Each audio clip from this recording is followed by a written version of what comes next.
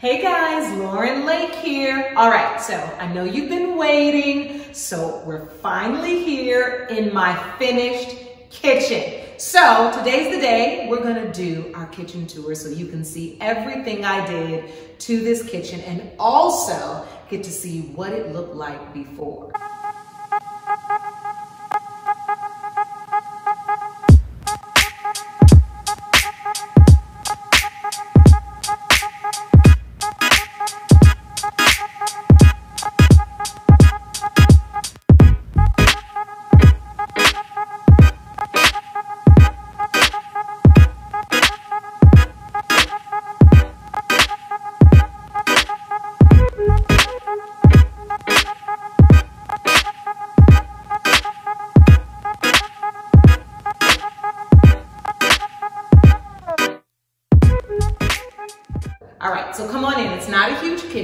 Again, this is a mid-century modern home I found. It reminded me of the house I grew up in.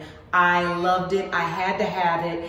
And I just wanted to restore the beauty in some parts and then modernize and make it more contemporary in others. So the old kitchen wasn't gonna cut it. So we decided to just tear everything out and do a brand new fresh kitchen. So come on in.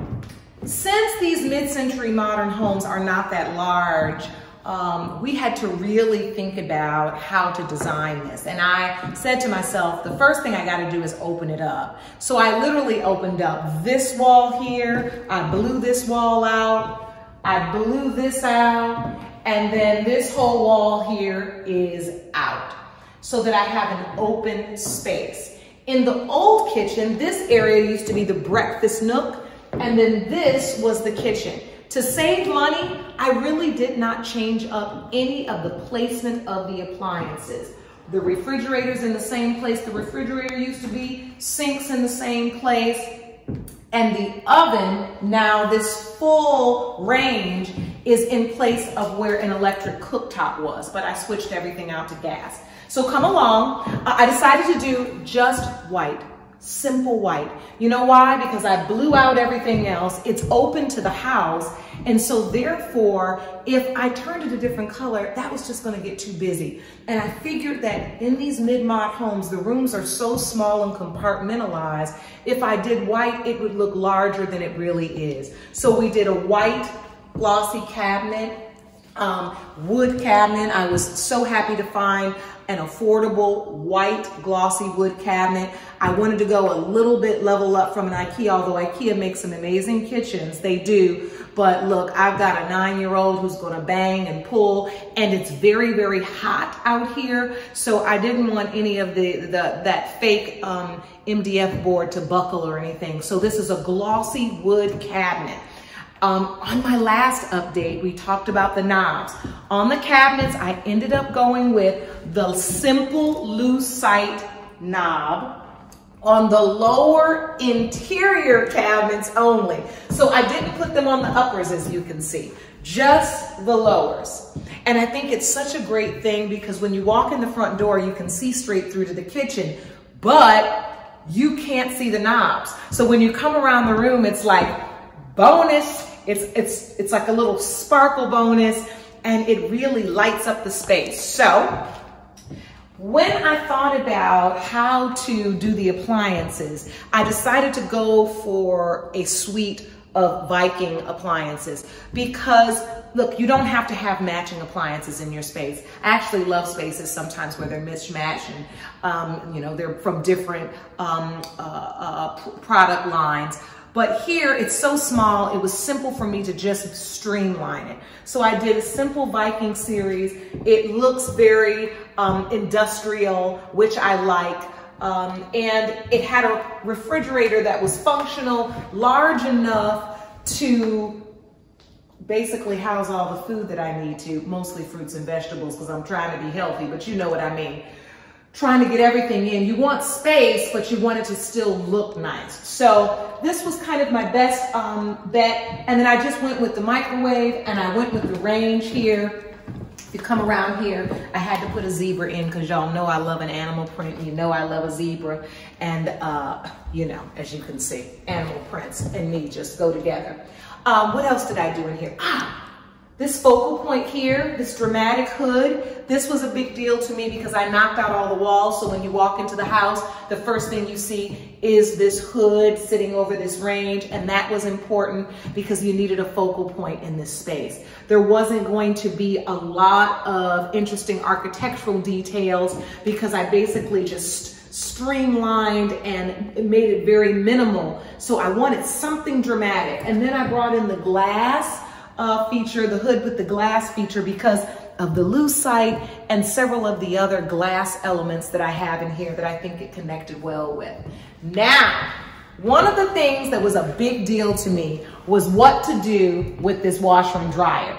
In the original house, this whole area was a pantry and it was all enclosed. All of this was enclosed. This was a wall. And this was a pantry, and then you walked into the laundry room before you went to the garage. I knocked everything out, and I gave up my big pantry space. Kind of regret it on some days, but working through it. But what I had to decide was, should I move the washer and dryer? Now, the original washer and dryer was side by side. I mean, this house was built in 1969.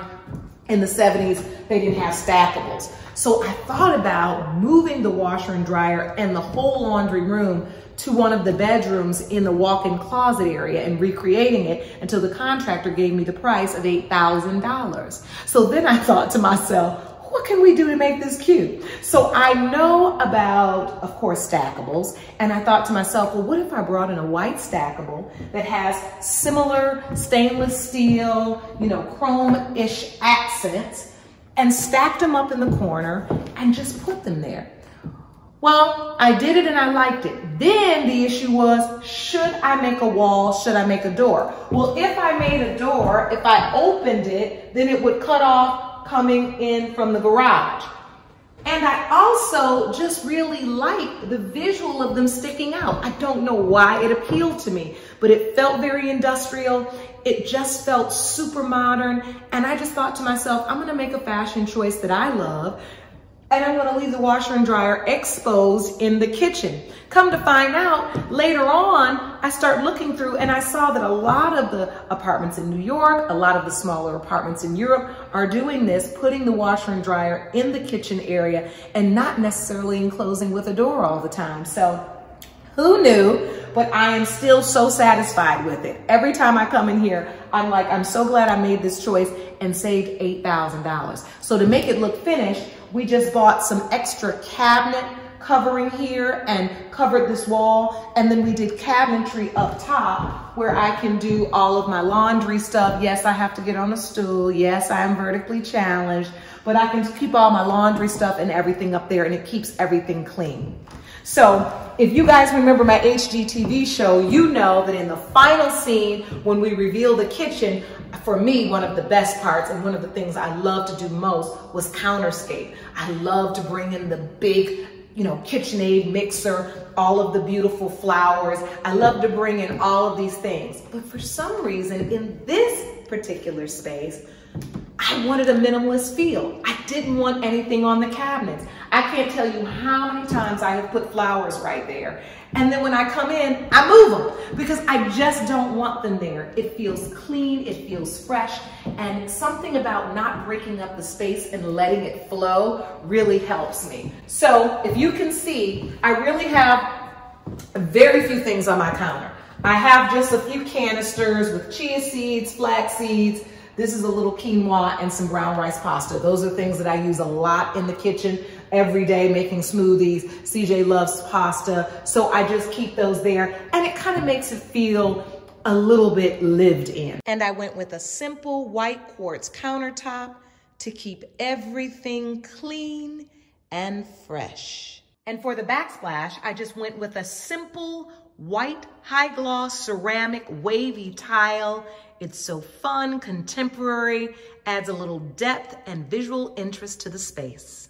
Then we did invisible shelves here. I love the invisible shelves because we don't see any of the hardware connecting it. And I literally put two little fake plants from Ikea, I think they were like $4, I bought them even before the kitchen was done because I thought they were cute.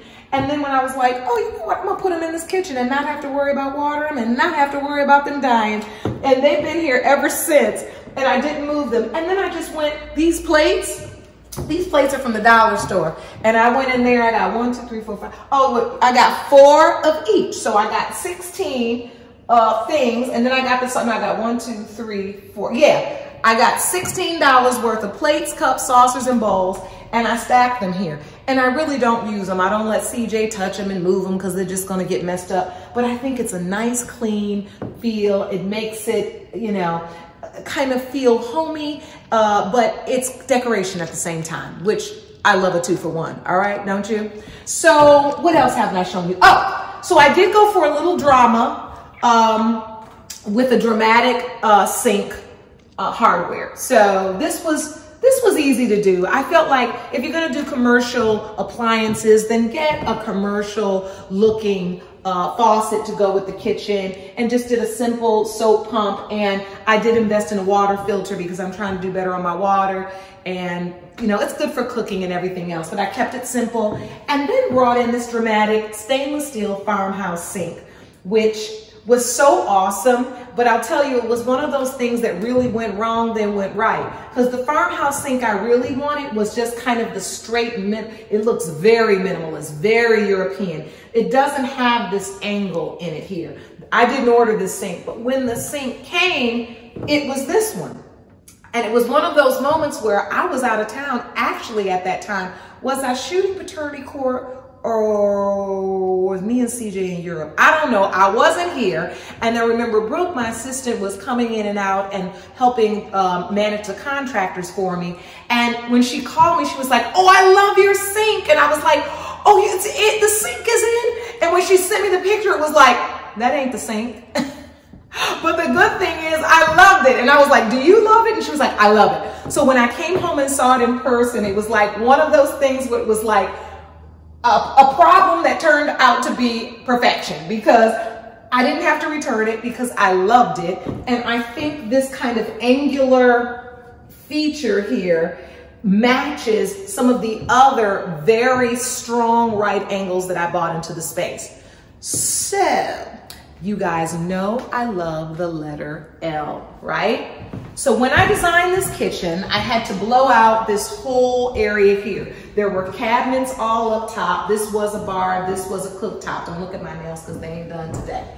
I'm out here doing crafts with my son. Um, so I developed this thought of how can I create an eat-in kitchen area without having a separate table because I just didn't want all of that furniture. So I created this, and as you can see, it's the letter L if you were standing this way. Like if I'm cooking, this is a letter L, and then this is a backwards letter L. And I created this out of right angles and designed this and basically had the countertops cut to cover this. And I added, under here is just more cabinetry. I brought in more cabinetry. So all my entertaining like wine glasses, like if you come over here, I just have things that I don't use all the time down here. Like you can see, wine glasses, things that I use when I entertain. Um, so these are cabinets here that are functional, but I don't have to get in them every day. Then I'm out at the lamp store looking for lamps, and lo and behold, they got a sale in the back room, so you know I had to go. So I get back there and I see these. And so I see these two stools sitting and I say to the woman, I said, there's no price on these because you tell me how much these are. And she's like, oh, I don't see a price either. Look underneath the thing. The thing says $25, y'all. $25. I'm like, is this a mistake? But I wasn't going to ask. I said, these are $25? She says, yes. And I was like, well, let me not question it over and over again. I took them straight onto the counter and bought them. So I got these two stools for $25 each and pulled them right up here. This was not the stool that I had in my mind. I was thinking of more of an industrial type stool, but guess what? For $25, this stool looks perfect for me. And they are comfortable, we can raise them up and down, it's perfect so we can adjust it for CJ. And it's a really nice little sit. Yeah, it's, it's a really nice little sit. So, you know, I wish I had more to show you. Oh, I can show you this. This was a really great part that I blew out here. This used to be a wall in the pantry area, but I cut it out so I could kind of make an island for parties serving like a buffet. So if I'm serving, I usually set this up as my bar or nibble area so that you could really get it from either side of the room. And then I have some stools in the garage that I can bring in and I can sit three more stools here if I wanna have a party and then people can enjoy the view that way. So that's another thing that I did to kind of multifunction. You know, all this limitless living that I do, I try to apply it to my design style too. I want everything to have more than one purpose, or I want to be able to do more than one thing with a certain item or a certain feature. Um, that's important to me because then we get more bang for our buck. So this was kind of my buffet slash um, eating area with a view. And it also has cabinetry that really functions. So I can put things in here too. I keep all my what's in here, my plastic bags and all of my plasticware in there. So that's pretty much the kitchen, guys. Um, we do a lot of entertaining, a lot of cooking in here. I've been very, very pleased with it. It's small, but we can get the job done. And because I blew out all of these walls, it can hold a number of people because you know no matter how much you plan for people, honey, I can set chips and dip over there. I can set shrimp over there. Somehow when you're entertaining, people come straight to your kitchen. And so now at least they have a place to hang out. I can cook, we entertain, and that's really what it's all about. The kitchen is the heart of the home, and it felt good to get back in and design kitchens. I, I, I was like, okay, I'm ready to have another design show too. I love designing kitchens. So anyway, I hope you enjoyed it. I hope you like it, and we're gonna have hopefully um, some more things to show you in the house as I start finishing up and wrapping up all of my construction. So this is the kitchen tour. I hope you've enjoyed it. Make sure you subscribe to Lauren Lake Limitless Live for more incredible content. We're gonna be designing homes and designing lives. So stay tuned for all of the inspiration, motivation, and empowerment. And also click the like button and comment because I want to hear what you think. All right, talk to you guys soon. Bye-bye.